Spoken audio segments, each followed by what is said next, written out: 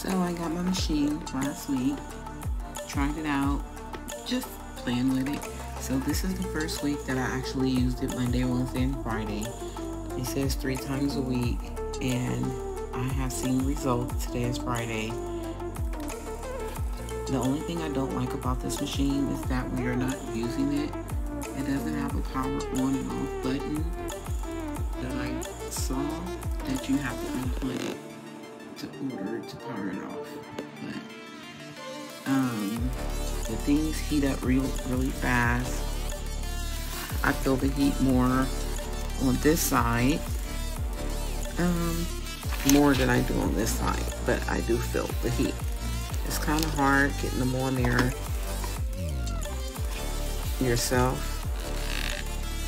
but I just put the Velcro strap around me first, and then put the paddles on, and then I use the gel, also the ultrasound gel.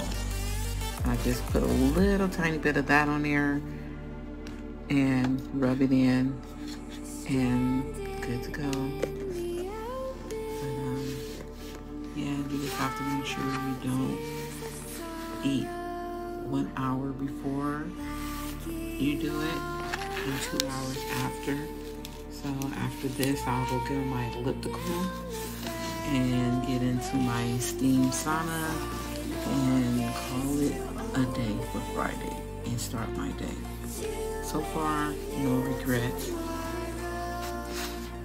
I like it. This is the only area I've used it on. I haven't tried no other areas on my body except this. And as you can see, I don't have a flat surface that I'm using, like they have mentioned are used in the professional office. So I just use my recliner and just tilt back as far as I could. I'm like, this is laid back enough, I think. But that's it.